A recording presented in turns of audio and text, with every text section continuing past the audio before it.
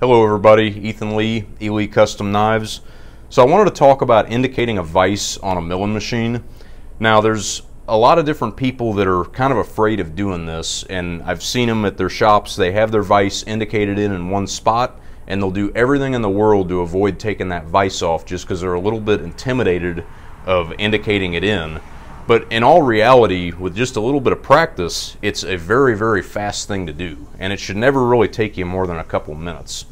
So there's a couple things that are an absolute must-have that make this way easier. The first is called an Indicol, and it's a specialty tool that's designed to clamp on the spindle of a mill, and you can move it any which way you want. And there's multiple uses for it besides just indicating a vise in. You can also use it to tram in head on a mill, indicate parts in very precisely. Very, very great thing to have and almost a must in my opinion. Now the next thing is a dial test indicator. Now these are a lot smaller than the regular dial indicators with a lot of travel that you're probably used to seeing. These indicators are a lot more expensive. They're also a lot more precise and they can be manipulated to point in certain directions whichever way you want. So I'm going to go ahead and put this test indicator in my Indicol. I'm going to go ahead and position the needle where I want and then I'm going to align the vise on the table with the slots go ahead and put my table bolts in. Then I'm going to kind of eyeball it in place to what looks somewhat straight. I'm going to go touch off on the back jaw, which is not the moving jaw. So now that I have the indicator touching the back vise, nothing's tight yet, I'm going to start indicating in the vise and I'll show you how I do that. So the first thing that I do is I move the dial on the dial test indicator to zero about midway in, the, in its whole travel. I traveled one way and then back, and as you can see, I only got a couple inches down and I was out quite a bit, so I'm going to go ahead and make an adjustment to what I think is relatively close. So moving that little bit got me relatively close, within six or seven thousandths.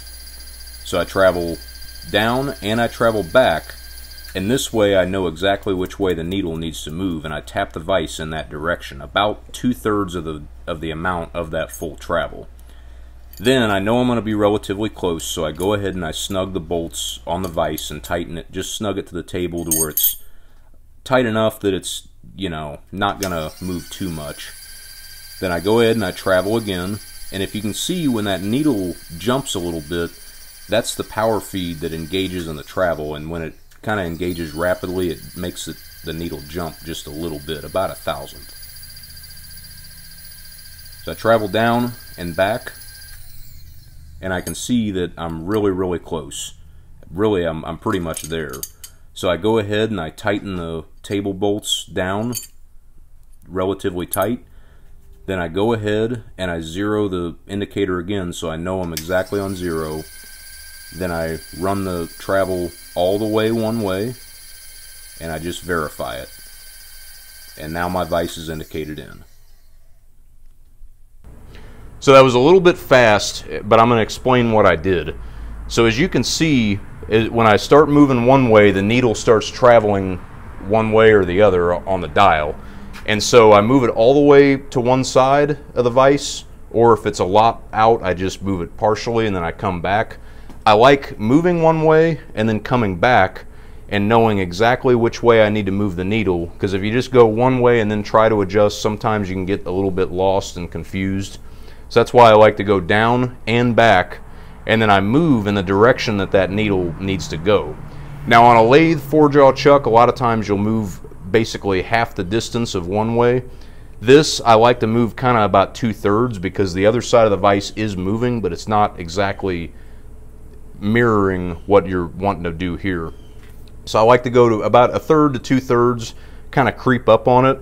And it is, I, I did do it pretty fast because I've done it a lot of times, but just a little bit of practice and you'll figure it out and indicate a vice in no time.